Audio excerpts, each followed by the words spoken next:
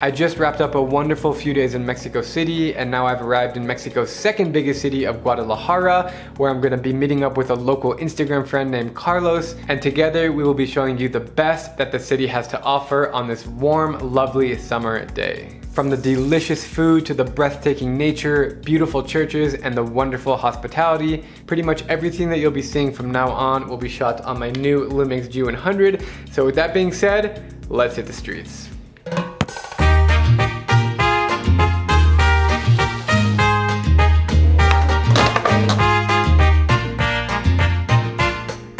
Despite being the second largest city in Mexico, Guadalajara gets far few visitors in places like Cancun, Acapulco, and Mexico City, and I'm not really sure why. Guadalajara is the capital of the state of Jalisco, which is the origin of Mexico's greatest traditions and products such as tequila, cowboys, Cholula sauce, Santana, and of course, mariachis. Sitting at 5,000 feet above sea level, this sprawling city of 4 million residents is completely surrounded by green mountains and the largest body of water in Mexico. We are in Lake Chapala.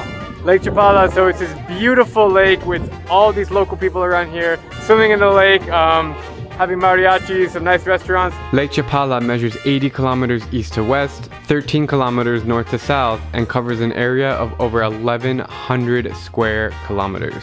So we just uh, hired a mariachi group here. Right. right. Hola.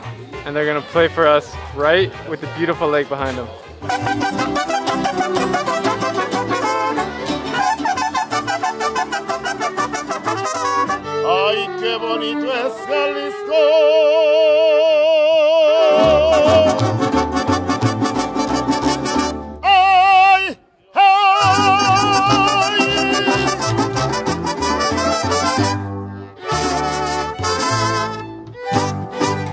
As we head back to the main part of the city, I have one thing on my mind.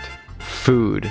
You probably already know that Mexico has one of the most diverse and delicious cuisines in the world, each state having their own specialty dishes. That's exactly the case here in Jalisco, and I'm so excited to give it a try.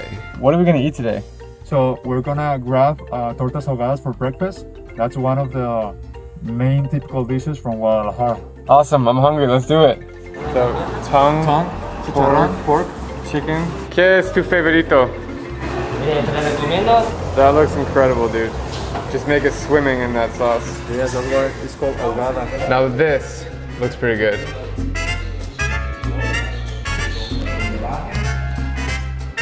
Mm. All it is is a sub with meat inside, but it's all about the sauce. That's the thing. You douse it in the sauce and the bread is so strong that it can stand a lot of sauce. And it's good.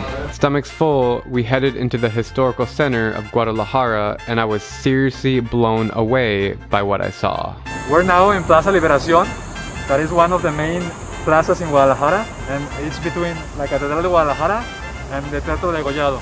And it's actually a lot more beautiful than I was expecting. I mean, there's literally no tourists around here, and my favorite building is that church with the yellow tops. It's absolutely stunning. Guadalajara is a city not to be overlooked in Mexico, and I haven't even mentioned the fact that the region is totally surrounded by blue agave plants. That's the main ingredient of tequila, but you'll learn all about that in tomorrow's video.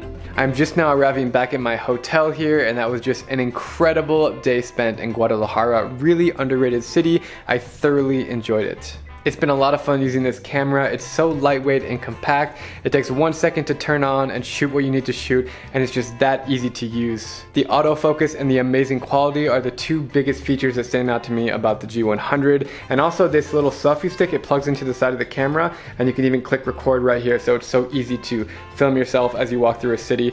That's it guys, I will definitely be bringing this on my next trips, and I'm super looking forward to it. Hope you enjoyed this video, and I will see you guys for more content tomorrow from Guadalajara.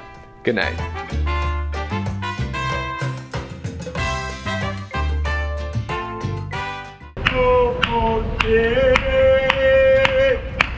alma por ti llora, estar contigo siempre. Señor, ven por aleluya. Gracias. I'm Drew Binsky, and if you like my travel videos, please click subscribe and join me as I plan to visit every country in the world.